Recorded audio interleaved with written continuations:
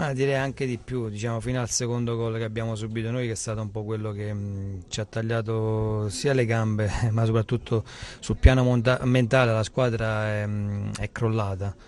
Eh, credo che sia l'aspetto più negativo di questa partita perché il risultato negativo, la sconfitta ci può stare perché la San Benettese siamo tutti quanti consapevoli che non è una squadra che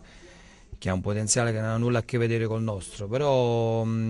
questo aspetto mentale mi dispiace, è la prima volta che ho visto la squadra che, che ha mollato,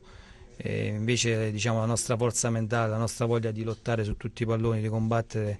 eh, fino ad oggi era stata la nostra arma in più. Però sicuramente quello dovrò, su cui dovrò lavorare in settimana è proprio questo, questo aspetto, perché poi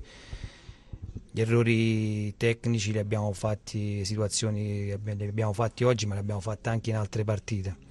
L'aspetto più negativo è l'aspetto mentale. Qualche buona occasione il Benafro l'aveva anche creata nel primo tempo, poi è arrivato proprio allo scadere il gol, anche un po' fortunoso per la Samb nel, nel finale appunto della prima frazione. No, no, nel primo tempo abbiamo fatto la nostra partita, partita equilibrata che si giocava sul piano dell'equilibrio, una delle due squadre avrebbe potuto sbloccare il risultato su situazioni, su, su delle situazioni, su degli episodi. Eh, poi abbiamo preso gol mi sembra negli ultimi 30 secondi del primo tempo, ci siamo riorganizzati mentalmente, siamo ripartiti bene, poi mh, ribadisco il secondo gol eh, la squadra ha avuto veramente un crollo psicologico.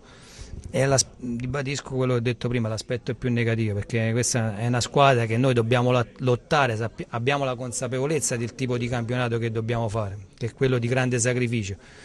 però dopo l'atteggiamento finale dove la Sambettese chiaramente è venuta fuori con tutta la qualità, con tutto il tasso tecnico che ha nettamente superiore al nostro, però la squadra si è allungata, è rimasta in campo veramente già sul 2-0 non vedevamo l'ora che finisse perché e questo sinceramente è la cosa che è peggiore.